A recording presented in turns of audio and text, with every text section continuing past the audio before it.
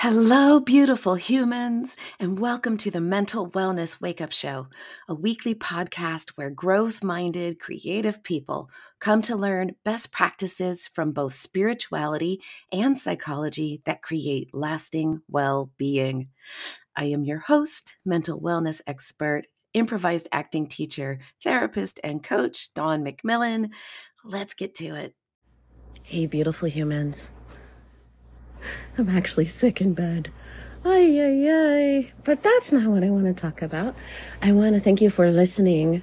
I want to thank you for listening because you don't have to. And yet, here you are sharing your time with me, sharing your attention. And we all know that our attention is one of our most precious commodities. So thank you, thank you, thank you, thank you. And I also want to acknowledge that it's possible, if you read the news, to feel pretty despairing right now. So I want to give you kind of a little verbal hug and remind you that at any given moment, most people are okay. And at any given moment, most people are just doing the best they can. So redirect your attention to what is good, what is working, what is joyful. And I'm not talking about spiritual bypassing or not being willing to bear witness. I'm really talking about about shifting some of the balance of your attention away from what is wrong to what is right and away from what you don't want to what you would like to create. So that's just a brief invitation to all of us to remember that we can't always control the world, but we can control where we choose to put our attention. And the things that we attend to tend to increase. So, what I want to increase today is the concept of Wu Wei or Wei Wu Wei which comes from the Taoist philosophy of ancient China. So we've touched on Taoism in the past. I shared an episode talking about the Tao of Pooh based on Winnie the Pooh and shared a little bit of reading from the Tao Te Ching, which is the seminal piece of work on Taoism, at least the one that most of us in the West have heard of. And um, just how some of those concepts can be a little bit brain frying. You know, it's the, it's being and nothingness. It's what is and what isn't. It's emptiness and fullness. I think so much of what, what uh, is transcendent also transcends language. But nevertheless, we're going to dive in because I think it's a beautiful, beautiful philosophy. And I personally um, need a reminder. Sidebar. I think so often the reason we don't change more is simply that we forget. Our habits, our programming takes over. And especially if we are seeking change in a way that is countercultural, if we are uh, running away from ego attachments, from look at me, from if we are moving towards more holistic ways of being, collaboration instead of competition, um, naturalness instead of, um, I want to say putting on a front, but I'm not sure that that's the best way to say it.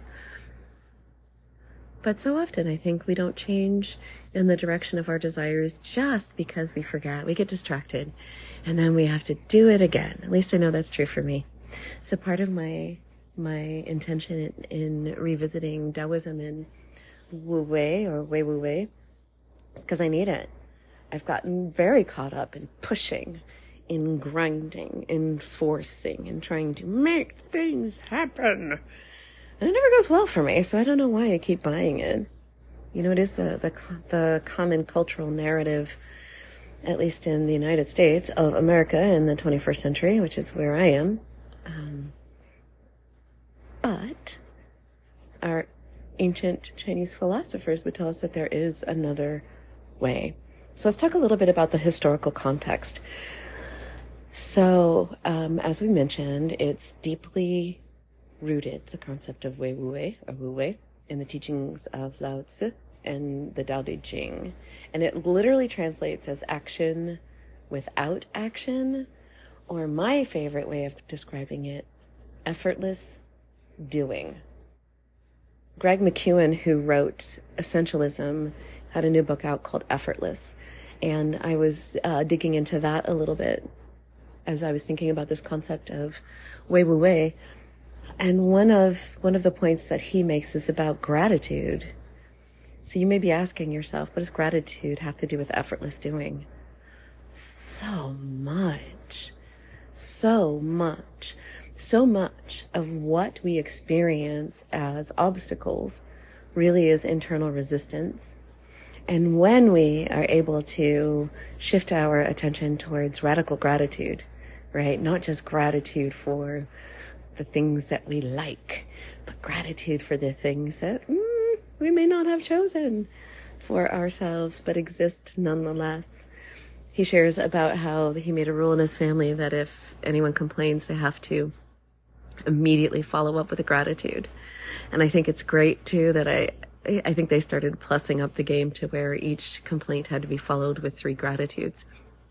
And if you talk to a lot of different uh, philosophers, spiritual philosophers, and psychologists about if you could give people one tool to transform their lives, to get them out of their mood disorders, out of anxiety, out of depression, what tool would they share? And it's it's gratitude.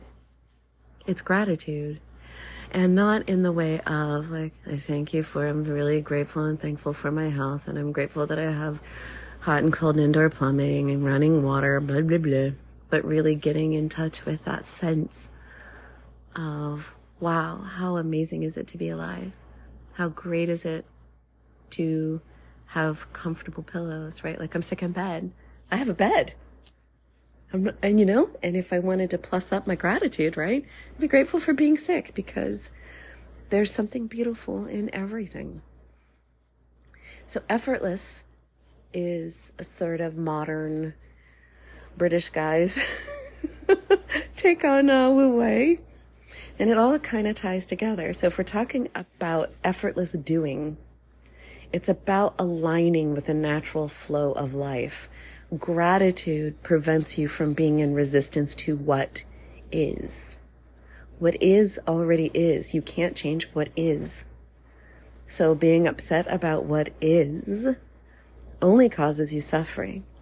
Radically accepting what is, so radically accepting what is that you are grateful for it, opens up a path toward creating what will be. Action without action, effortless doing, aligning with the natural flow of life. So, at its core, Wei Wu Wei embodies the belief that you can achieve the most by doing the least it's it's the idea of rowing downstream. Like why row upstream just to prove how hard you can work? What if you can arrange your life so you're rowing downstream? What if you can put roller skates on when you're at the top of the hill so you go down quickly and easily? We're advocating the idea of harmonizing with the spontaneous rhythm of the universe rather than trying to impose your will on external circumstances. So it's about coming from a space of inner tranquility and attunement and allowing life to unfold without resistance or force. It's accepting what is without aligning, agreeing, resisting, or reacting. It's non attachment. It's all barking up the same tree. The Buddhists would talk to you about non attachment, the Taoists would talk to you about effortless doing. It's all about not getting into resistance. And when we are in effortless action, when we relinquish our attachment to outcomes and instead focus on the process in a space of gratitude, we can alleviate our stress.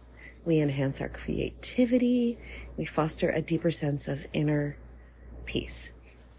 So, a lot of times when we start talking about path of least resistance, effortless action, uh, someone might tell you you're lazy, as a former romantic partner once told me. Eh.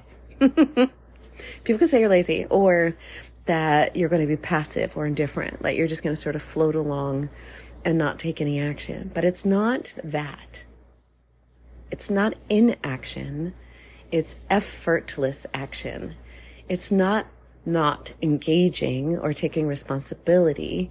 It's about being serene and fully present and mindful and intentional and non attached. It's surrendering the ego's need for control. And when we do that, we're just so much more available to, to wisdom, to, to flow, as Mihaly Csikszentmihalyi would talk about, that flow state where time seems to pass without your conscious awareness and you lose yourself in the task. That's Wei Wu Wei. So, so what? As we're going through the day and we begin to feel that constriction, that tightness, that force, that resistance to, I don't like this, whatever form it may show up in, is there a way to embrace the art of effortless action? Is there a way to approach the moment mindfully with a sense of harmonious balance without resistance? And I always worry when talking about things like, I don't know, Taoism, that it can feel like a word salad. And if we're open to just kind of grokking it in fullness with our right brain or our hearts instead of our left logical brain, which, you know, is a hammer and makes everything look like a nail, but there are other tools. If we can just allow it to seep in, it can be really amazing. So I wish you gratitude, ease, effortless doing, harmony, and flow. You know why? Because you deserve it. Because you, beloved human, are whole, perfect, and complete just the way you are. And you are worthy and deserving of all the things. Until next time. I am so honored that you share time with me. If you've listened this far, then something here was of value to you. Would you please be a friend of the podcast and share it with at least one other person? The podcast is available on most platforms, including YouTube, and I need your help to get the word out. So please like, subscribe, and share. And a five star review on iTunes would be mwah, chef's kiss. Thank you so much. See you next time.